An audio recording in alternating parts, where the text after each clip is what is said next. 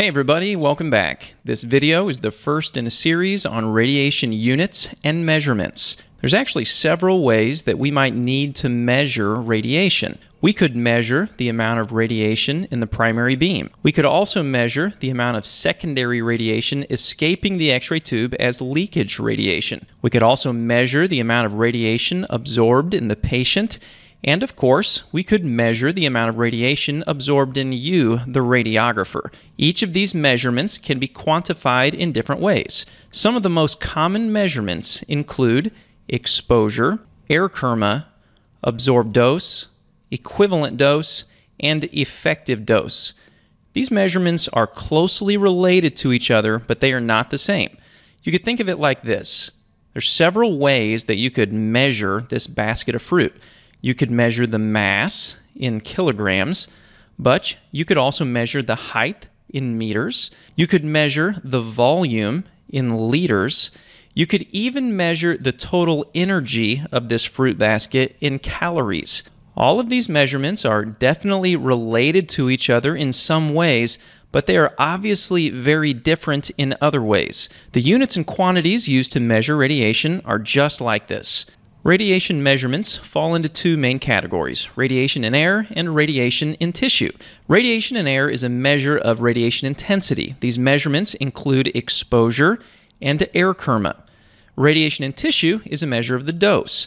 These measurements include absorbed dose, equivalent dose, and effective dose. All of these measurements are different but related. Here's an example. If we wanted to, we could measure each of these values during a single X-ray exposure.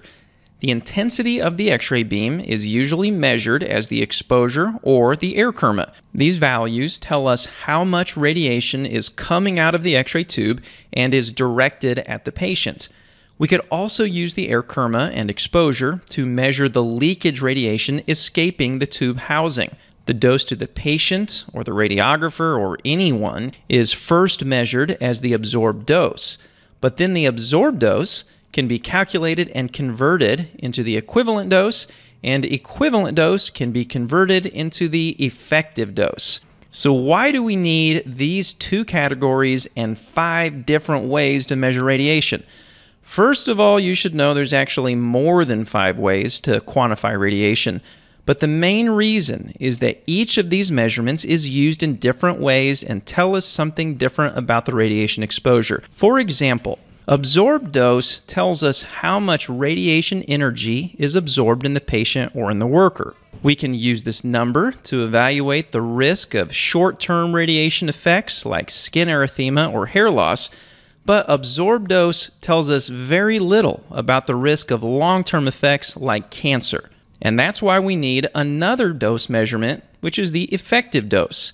Effective dose is used to evaluate the long term effects like cancer or genetic conditions, but it is not used to calculate the total absorbed energy in the patient, and we cannot use it to predict short term effects like skin erythema or epilation. So, even though these dose measurements might be used in different ways, they're also related in some ways. For example, if we increase the MA, this is going to increase the beam intensity, which then will increase the exposure as well as the air kerma, and that is going to result in an increase in the absorbed dose, the equivalent dose, and the effective dose. The same thing is true for KVP. If we increase the KVP, this is going to increase the beam intensity. This is going to result in a measurable increase in the exposure and air kerma. And if that increases, it's also going to increase the absorbed dose to the person, as well as their equivalent dose and their effective dose. We could also change the distance, and the result is different. If we increase the distance between the person and the x ray source, this is going to result in a decrease in the intensity of the X ray beam according to the inverse square law, which then will result in a measurable decrease in the exposure and air kerma. And if those things are decreasing, the absorbed dose, the equivalent dose, and the effective dose also all decrease. It's good to know that all of these measurements are related to each other. Here's a practice question to make sure you understand these concepts. Which of these radiation measurements are commonly used to evaluate the intensity of the X ray beam in air? Select multiple answers. Take a minute to see if you can figure out what you think the answer is. Since we're looking to measure the intensity of the X ray beam in air, this question has only two correct answers. If we're measuring the X ray beam in air, we can measure the air kerma or we could measure the exposure.